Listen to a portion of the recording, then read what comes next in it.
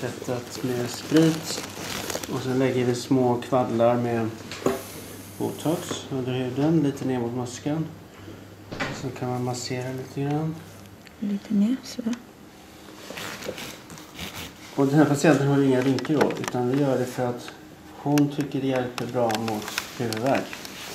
Hon har spänningshuvudvärk, ganska kraftig sån med migrän liknande. Och det hjälper kanske inte egentligen mot klassisk migrän men ibland är det väl lite blandning så att hon har god hjälp med botox.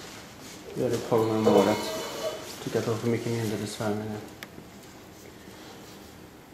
Det är klart att man ska liksom inte bota stress och sånt med, med botox men man ska bota orsaken till stress. Men botox kan också hjälpa till att bryta det här smärtmönstret. För får man väldigt ont i huvudet så blir man ännu mer stressad. Så det är som en ond cirkel.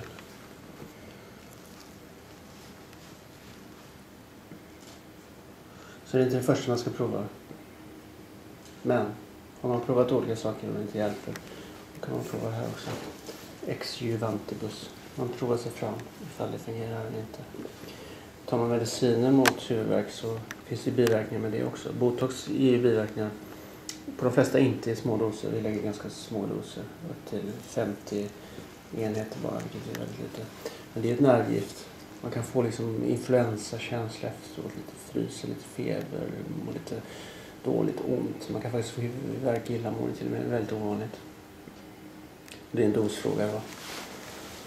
Så länge man små doser så brukar det inte hända någonting mer att man kanske får ett stickmärke. Sen kommer ju inte effekten en gång utan det tar ju några dagar upp till faktiskt några veckor innan man har full effekt. Sen försvinner det efter några månader sakta.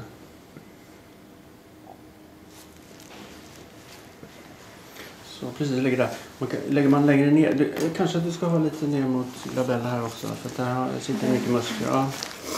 Och eh, ja, det här är alltså inte mot rynkor för hon har rynkor men det, är, det hjälper ju mot rynkor också, det förebygger rynkor. Fast jag tycker inte man ska lägga botox i förebyggande syfte, det tycker jag inte.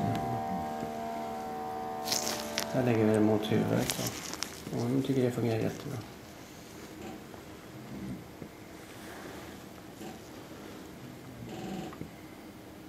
Det finns något som heter placeboeffekt också. Att man, om man tror på någonting så fungerar det.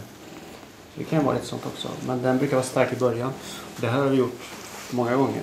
Och fortfarande tycker man att det är bra effekt. Och då kan man ju tro att det faktiskt har en reell effekt, en verklig effekt.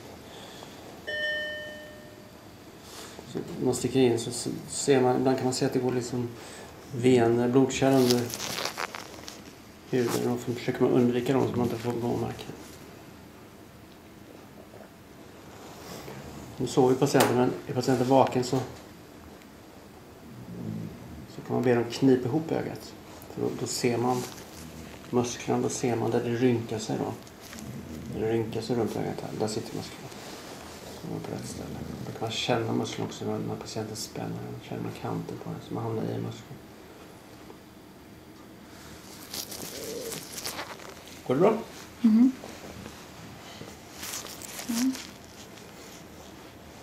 Så, så blir det en liten bula där, men den går ju bort rätt fort. Om det inte blir ett blåmärke. Tyvärr blir det ju det ibland, men vi försöker undvika det.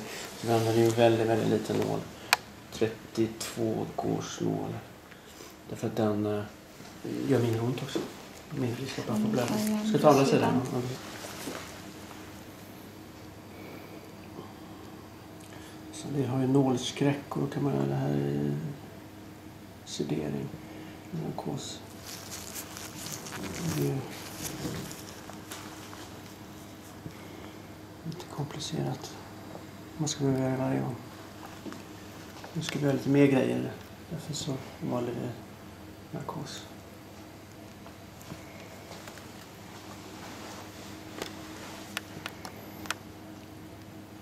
Sen är det ju så att Propofol-narkos fungerar ganska bra mot spänningstillstånd också. Men det är ju inte så att man ska söva folk för att de ska få bort sin spänning i första hand. Men många tycker faktiskt att det hjälper också. Så efter en operation då så känner man sig avslappnad. Det blir inga blåmärken alls va? Nej. Ja, det är kvar här va? Ja. Ta det också. Eller, eller nej, vet du vad? Jag tror faktiskt det räcker. På män får man lägga mer volym. Mer styrka för de har tjockare muskler. Hon har fått förut. Hon har inte så mycket tjocka muskler. Så hon behöver faktiskt inte mer. Ni med? Nej, det är klart. Ja.